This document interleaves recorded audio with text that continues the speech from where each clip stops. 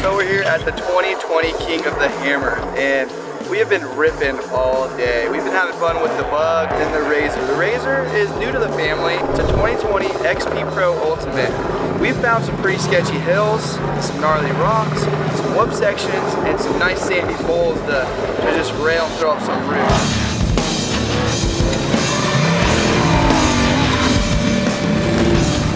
Dynamic suspension, which is awesome. It has a full throttle battery in it. I pumped my Rockford Fosgate stereo system in that thing for a few hours and no big deal. It always fires back up. And I don't know how because competitors' batteries have fallen short in the past. So it's a blessing to know that my battery is strong every time and wouldn't be possible without full throttle.